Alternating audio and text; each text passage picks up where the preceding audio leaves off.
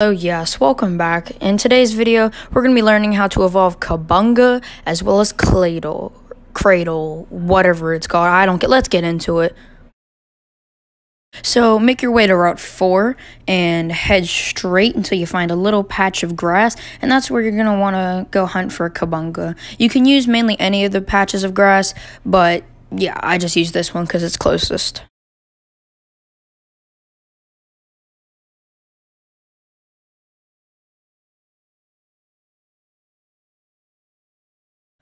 Okay, epic, we found a kabunga. Let's go now catch it.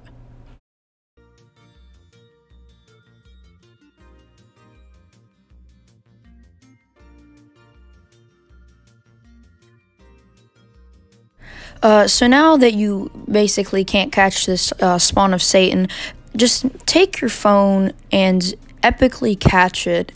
But then you realize that Kabunga just sucks so uh, throw your PC off your desk, throw your phone on your ground, and boom, we caught it.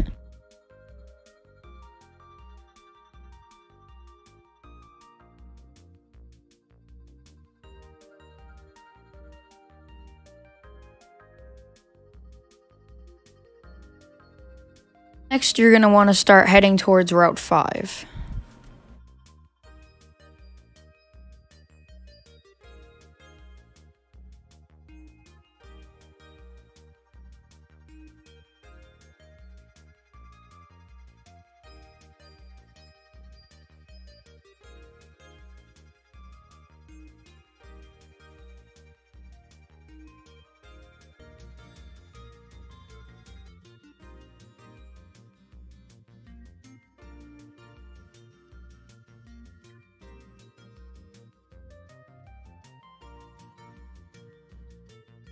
Upon entering this cave up here, basically what you're going to want to do is just run around aimlessly until you find a cradle.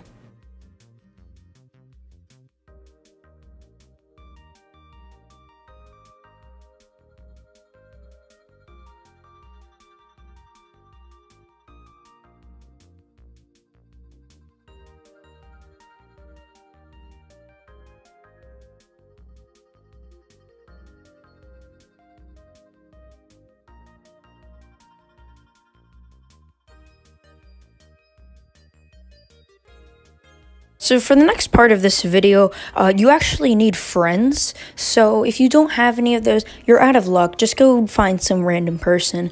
But basically, when you trade a Kabunga on its own, you're going to get Wiki Wiki, which is this dumb tree thing. I don't like it. And if you trade Cradle by itself, you get this little volcano thing. I don't know the name of it, but yeah. The reason you need friends for this is if you want a Vocaloa, you're going to want to trade your Kabunga, and the other person needs to have a Cradle.